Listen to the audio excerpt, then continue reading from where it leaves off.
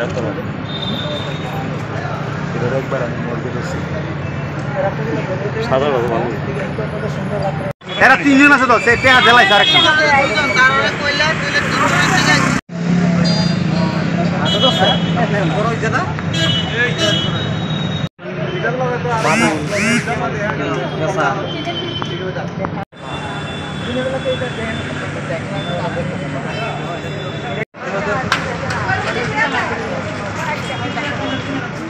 আমরা খবর পাইয়া সদর পেট্রোল থেকে আইয়া আমাদের চারশো এটা ধরছি এটা এখন নিয়ে যাইতে আছি।